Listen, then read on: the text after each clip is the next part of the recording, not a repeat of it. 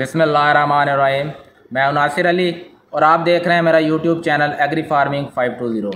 तो जो मेरे चैनल पर नए हैं, वो चैनल को सब्सक्राइब करें और बेल आइकन बटन को प्रेस कर लें, ताकि न्यू आने वाली ज़रात के मतलब जितनी भी वीडियो हैं, वो आसानी से आप तक पहुँच सकें। तो आज की इस वीडियो क्लिप में हम बात करेंगे सागवान के बारे में।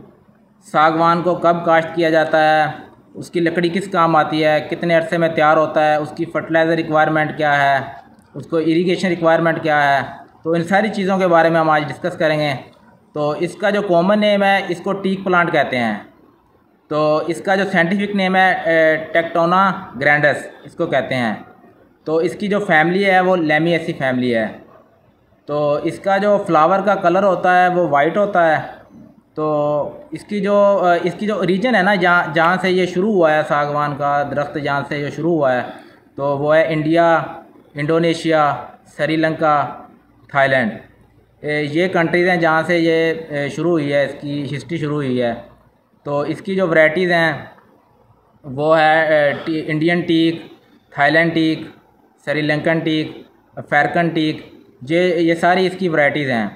तो मुख्तलिफ़ वैराइटीज़ हैं। आप कोई भी वैराइटी इसकी काश्त कर सकते हैं। तो इसको काश्त करने के लिए जो हमारे पास ज़मीन है उसकी एक तो P H six point five से सेवन तक होनी चाहिए। तो दूसरी जो हमारी सॉइल की टाइप है, वो लूवियल सॉइल होनी चाहिए। तो यानी कि नरम ज़मीन होनी चाहिए, मैरा ज़मीन होनी चाहिए। तो इसकी जो काश्त होती है, वो मानसून सीज़न में होती है। तो इसके लिए जो टम्परेचर रिक्वायर होता है, वो तकरीबन बीस से लेके अड़तालीस सेंटीग्रेड तक चाहिए होता है। अगर इससे टम्परेचर अप करेगा तो पौधे की जो फ़िज़िकल है फ़िज़िकल मेचोरिटी है, वो डिस्टर्ब होगी। तो इसलिए इसको टम्परेचर मेंटेन करना बहुत ज़रूरी है।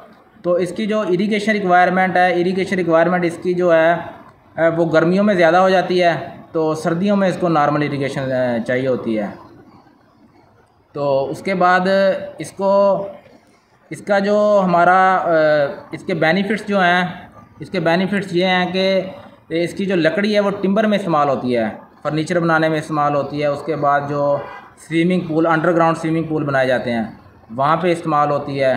उसके अलावा स्पोर्ट्स के जो बनाए जाते हैं, स्पोर्ट्स के लिए जो बैट्स वगैरह बनाए जाते हैं, उनमें इस्तेमाल होती है। तो उसके अलावा जो शीप्स बोट्स वगैरह बनाई जाती हैं, वहाँ पे इसकी लकड़ी इस्तेमाल होती है। क्योंकि इसकी जो लकड़ी है, इसको कोई बीमारी नहीं आती। सीवी वगैरह नहीं लगती, ना ही इसकी लकड़ी ख़राब होती है और ना ही गलती है। तो इसलिए इनको जो महँगी चीज़ें हैं, फर्नीचर है या कोई भी महँगी चीज़ है, वहाँ पे इसको इस्तेमाल किया जाता है। क्योंकि लकड़ी इसकी ख़राब नहीं होती और ये बड़े अरसों तक चलती है। तो इसकी जो दरख्त है, इसको लगाने के लिए जो हमारा प्लांट टू प्लांट डिस्टेंस है, वो तकरीबन 10 से 15 फुट होना चाहिए। यानी कि एक पौधे से पौधे का फासला 10 से 15 फुट होना चाहिए।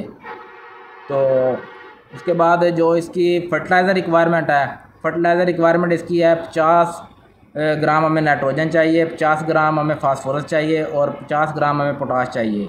यानी कि एक पौधे के लिए पचास पचास ग्राम हमें चाहिए। पहले तीन साल हमने लगातार इसको ये खुराक देनी है और उसके बाद इसको खुराक की ज़रूरत नहीं होगी। ये ख़ुद ब खुद तैयार हो जाएगा। तो इस पौधे की जो लंबाई होती है, वो तकरीबन तीस से चालीस मीटर तक जाती है। तीस से चालीस मीटर तक इसकी लंबाई होती है। तो जुलाई अगस्त में इसके ऊपर फ्लावरिंग आती है। तो वाइट रंग का इसका फ्लावर होता है।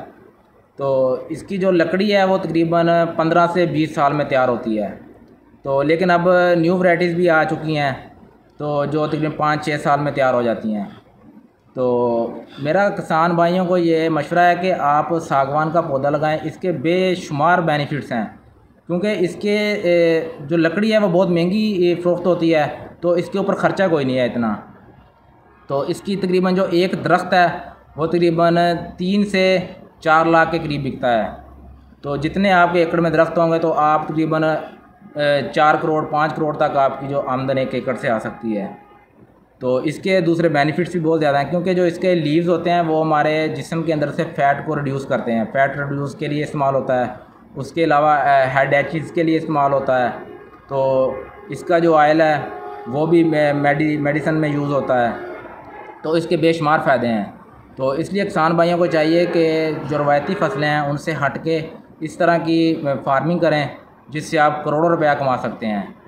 तो कम आप इनपुट आपका कम होगा, लेकिन आउटपुट आपका बहुत ज़्यादा होगा। थैंक यू वेरी मच अल्लाह हाफिज़।